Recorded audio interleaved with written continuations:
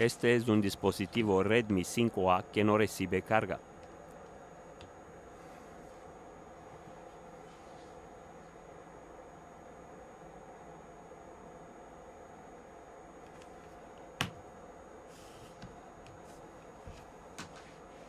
Desmontamos el dispositivo y quitamos todos los blindajes.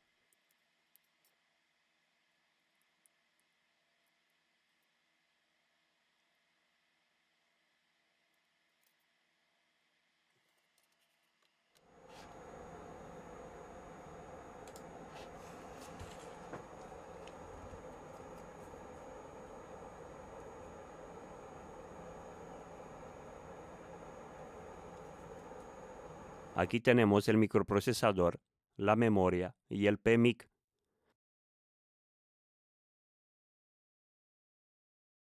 Soldamos el cable rojo en el pin positivo de la batería y el cable negro en una chapa.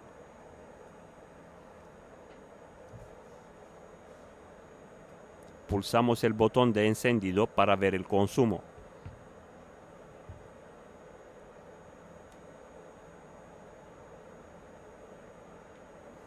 Tenemos un consumo fijo de 92 miliamperios.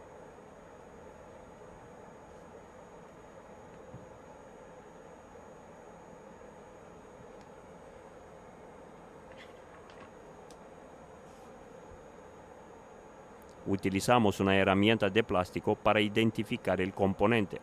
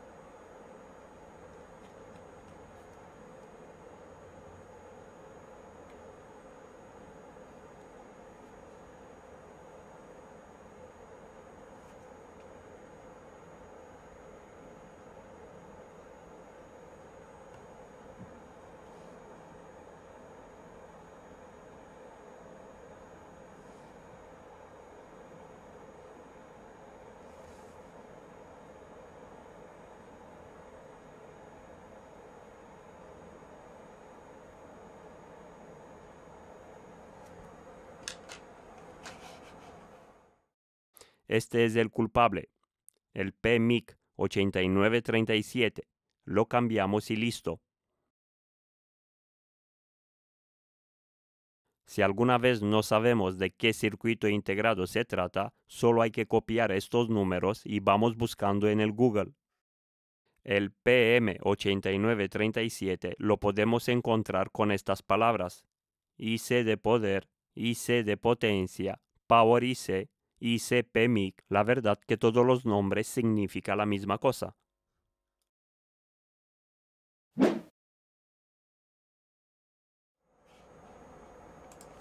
Este es un Huawei G8. Vamos a ver qué fallos tiene.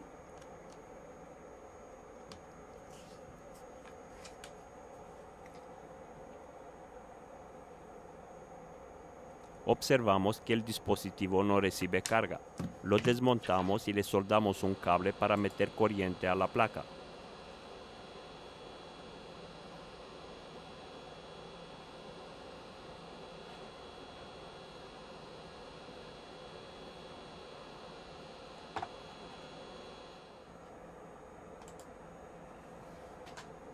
Encendemos la fuente para mirar el consumo.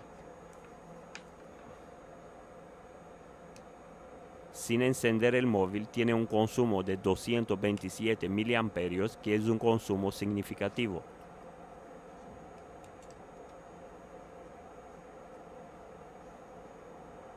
En el próximo paso tenemos que retirar los blindajes.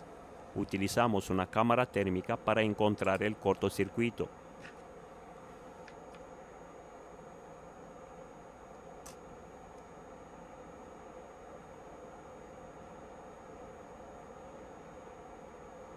En la pantalla podemos ver la zona roja justo en el medio de la placa base.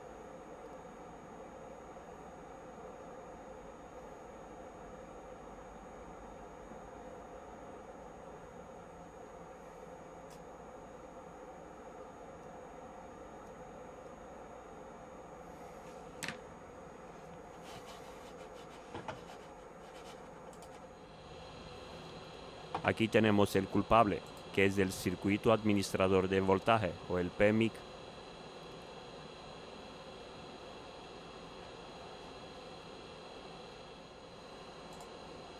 Esta pegatina de color rosa nos indica que el dispositivo ha estado en contacto con líquidos.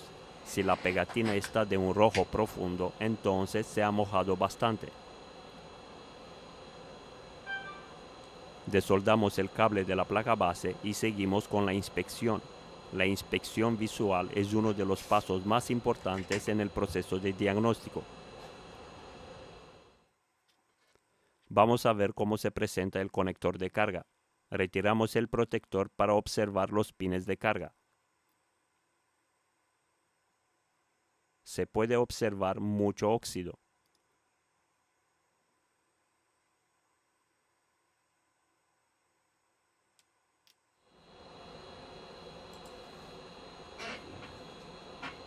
Aplicamos limpia contactos y procedemos a retirar el óxido, utilizando un cepillo y una toallita de algodón.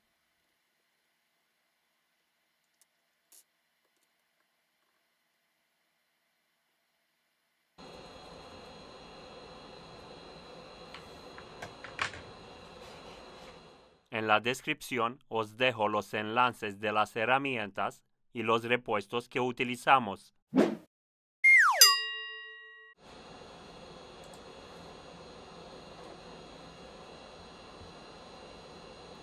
Aplicamos flux de la marca Quick Chip o Amtech. Cualquiera de los dos te vale.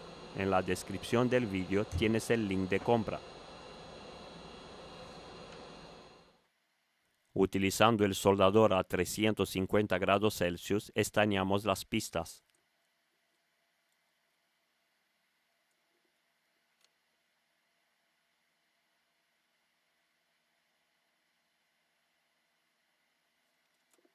Aplicamos otra vez flux y con la ayuda de la malla de soldadora retiramos el estaño.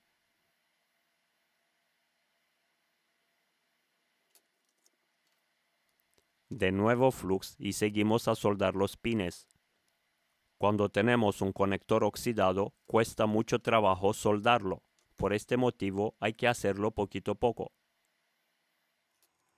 Estañar, limpiar, soldar, una y otra vez, hasta que la soldadura se queda firme y brillante. Aquí tenemos el resultado final. Este es un dispositivo reciclado por el cliente, entonces para repararlo solo nos queda cambiar el PMIC.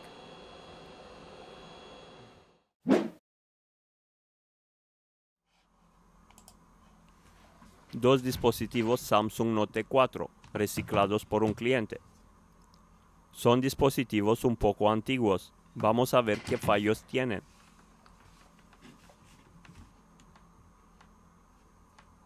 Conectamos el cargador al primero. Vamos a ver qué pasa.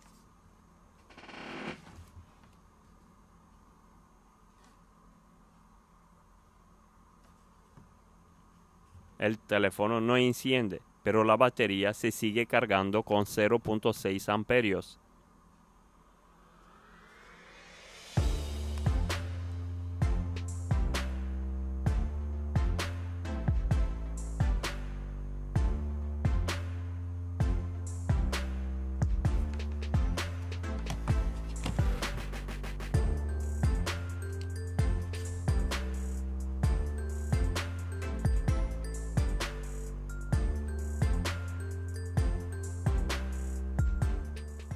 El segundo recibe una buena carga y da imagen en la pantalla.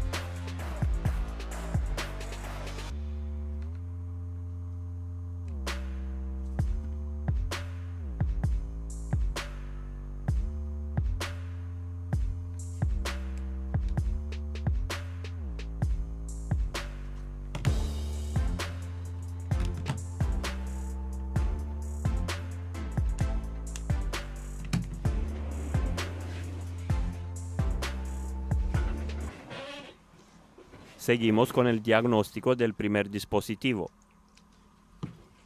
Para limpiar bien la pantalla utilizamos limpia contactos y un paño de algodón.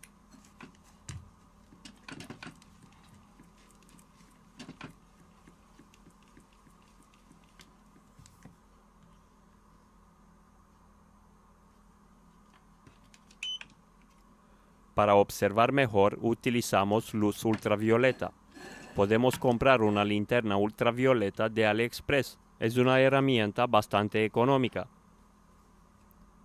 Aquí se puede observar la grieta de la pantalla.